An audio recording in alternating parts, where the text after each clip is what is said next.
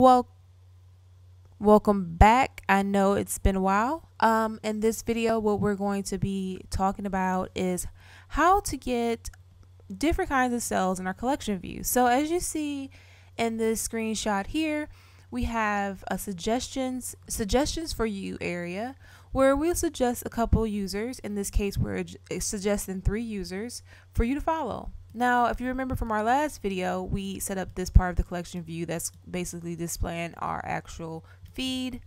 And this will be a way to introduce your user to new people that they should follow.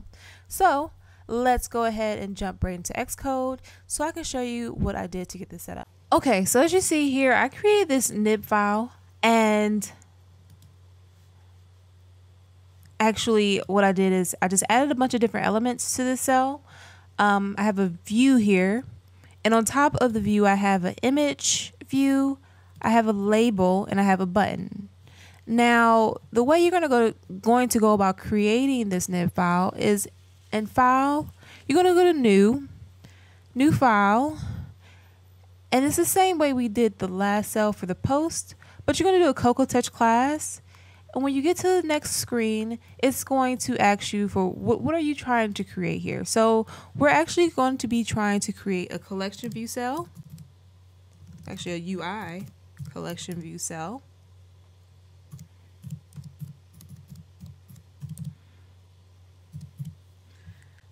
You're going to name it whatever you want here. You're going to check this box here to create this nib file. And that, that's that's going to give you this screen or this um, this uh, builder here for it. Um, and then you can lay out whatever you want. This doesn't have to necessarily be the suggestion, um, but any other cell that you want to add to your collection view. All right. So with that, it comes with this file, the suggestion collection view cell is going to be its type. And then I just basically hooked up all of the outlets. And this is, I'm just actually just a test for myself printing something. But here's, you're actually going to do some type of action when the user clicks the follow button, maybe adding them to some type of queue um, to be approved for the user. And I'm just on the awake from nib. I probably could have did this in um, a different place, but I'm just going and rounding the image out. So just with these two lines, and I should have posted a video already how to do this. Pretty simple to do. Um, I'm not sure if awake from nib would be the greatest place to do it, but why not? You know, it's kind of the first thing that kind of pops up. All right, so now that we've created our cell, what we're going to want to do is, if you remember from the last video, we created a post model. And the post model is basically, it has all of our information about what a post is. And down here, all the way at the bottom, well, of course, making sure that we import IG list kit and at the bottom, we um, extended, created these extensions for post for equatable and IG list diffable. diffable. So in our new cell, I have this user class and it has the information for each of the items, each of those three posts are locations where we can add new users. So then initialization, um, of course, I would not recommend doing it this way. I would probably do something maybe like another list or a collection, and you know, you only have one of these. And um, but for time's sake, I just did three. Uh, here I have an, is another extension, of course, the equatable again, a way to tell if the users are the same. And we're going to use that user ID. And here I have IG list diffable. And it's basically the same as uh, we did for the post. And that video will be linked below if you're looking for a little bit more detail. Okay, so now that we created our model, the next thing we're going to want to do is create a section controller. And from our last video, the way we do that is going to File, New File. We're going to do a Cocoa Touch class. And if you've imported IG list kit, you can go ahead and start typing IG list and uh list. And then as for section controller, you're going to name it and just go ahead and hit next. Since I've already done that, I'm not going to create another file. As you remember, we created one for our last file. And we're basically doing the same exact thing that here. We're importing IG list kit and reusable for our nib The only difference here is that we have a new model that we're using. So this is going to be a user. We're still returning one cell and we still haven't done the dynamic programming or dynamic uh, grab for the width and height. So we're just going to go ahead and do that. I would definitely suggest you do that for the event that your screen changes. You don't want to have like these kind of hard coded values in there. And we'll talk about that another time. Um, so the cell, building the cell up, so we're doing the same thing except for this time we're doing suggested collection view cell because that's the that's the cell that we actually have set up here. Suggested collection view cell, and then this dot reuse identifier is uh, courtesy of our um, reusable.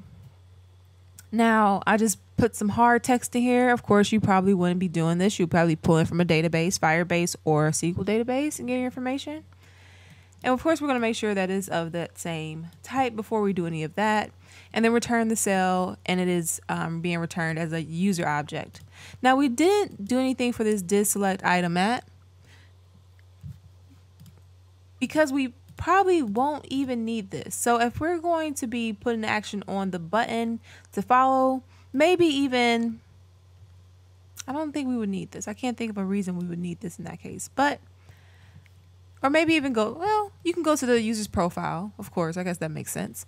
Okay, so now that we've created our cell, we've created a model and we've created our user section controller. The only thing left is to go into our main feed view controller. And what we're going to do is we're going to one, you this is where you're going to pull in your data for your suggested user. So say you have it in Firebase or um, uh, some other database and you're going to be pulling that information. So you're going to do that just like kind of we did here with the load data. And then we probably want to pull this out of here because, you know, just make it a little cleaner. But you would just call your data um, and then you would store everything into an array. So the, the magic happens down here in this extension for the IG list adapter data source. We have this items, feed items. Now, if you remember from last video, the only thing that we had in here was this feed array, which basically included our post information, and it was um, as an IG list diffable array. But now what we're doing is we're just adding our new data. That's if you had data, because we're not actually populating that data, but you add your new list or your new data that is IG list diffable because it's part of your model here. Now you could do something really cool as far as maybe sorting it by date and depending on date, that's how things appear. It's just not all of this stuff is at the top, then this stuff is next. You can kind of do a little sort here. Um, and then the last thing we have to, of course, um, account for is the fact that we have multiple different types of items in this collection and they have different user section, well, they have different section controllers. So in this list adapter, we're going to take this object that we're getting and we're going to figure out is this object a post or a user? And if it's a post, well, if it's a user, we're going to go ahead and return our section controller that is responsible for our users or our suggested users. Otherwise, we're going to return our posts because we only have two. We only have one or the other. Now, if you had multiple, of course, you would check on each of the objects. So that way the appropriate section controller would work. Now, if your program starts bombing out because of this, is because you probably didn't um, switch on the object. Okay, so I think that's it as far as what we need in order to get this to work. You want to make sure you import IG list kit. You want to make sure you watch the video before um, to make sure that everything makes sense to you. Uh, and the next video, I'll probably go be going back to some of the database stuff as far as handling follows. So when someone does click that, being able to follow that user um, or getting some type of pending request to follow a user. So next time we will be doing that. If you guys have any questions or comments, please comment below. So I will see you guys next time and I go hope you guys have a great night. Bye.